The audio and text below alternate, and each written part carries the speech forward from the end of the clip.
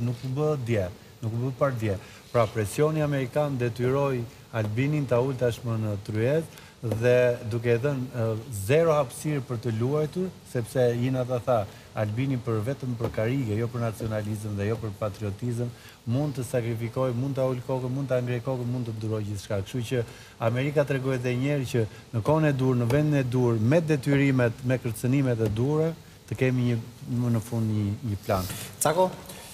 ndodh nesër takimi i shumëpritur. Manush, ka nevojë të diskutohet për një marrëveshje, po që të jetë win-win. Fitimtarë të luftës kanë dalë shqiptarët në bashkëpunim me Perëndimin dhe jo Serbia, e cila nuk mund të vërë dot kushte si palë humbëse, që vetëm ajo të përfitojë nga kjo lloj marrëveshje. Unë Mendoj që me aq sa e kam e kam njohur Albinin, Albini ka dy rrugë, o të rezistojë dhe ta tregojë veten që është një shqiptar trim, ose të dorëzojë, të dorëzohet dhe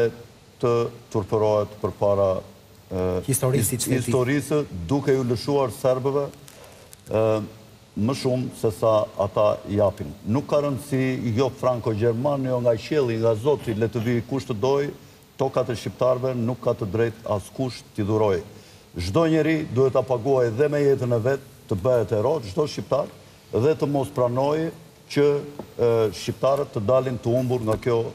marrëveshje sepse ka njëqind vjet që na kanë frustruar për shkak të ndërkombëtarëve dhe fuqive të mëdha dhe nuk mund të na frustrojnë përsëri vetëm ne për të arritur ata kompromiset dhe paqet dhe siç e kam thënë atë shprehjen e Mit'hat Frashërit të përdorin tokat e